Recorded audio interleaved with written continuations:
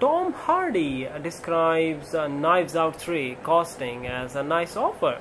Tom Hardy uh, recently addressed rumors about his role in the film Knives Out 3. Um, uh, for those who are unaware, uh, Josh O'Connor, uh, Glenn Close, Jeremy Renner, um, uh, Spaeny, uh, Andrew Scott, Kerry Washington, Mila Kunis, Daryl McCormack, Josh Brolin, and uh, Thomas Haden uh, Church have all been confirmed to appear in the third edition of the American Mystery Film series. During a recent interview with Entertainment Tonight, Tom was asked uh, if uh, he will join the star-studded lineup. No one has called me about this, the Peaky Blinders alum said. Expressing his delight at the notion, uh, he said, uh, This came out in the Google machine this morning. And even I was like uh, what's this uh, someone has to ask me.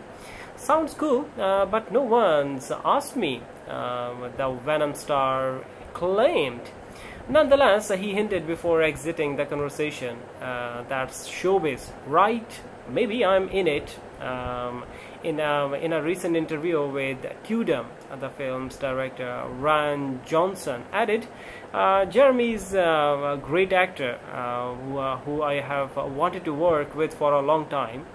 I was glad that uh, he thought the hot sauce stuff was uh, was was humorous. He he's he's playing a genuine he's playing a genuine role in this one, and we will keep the sauce off screen. He said.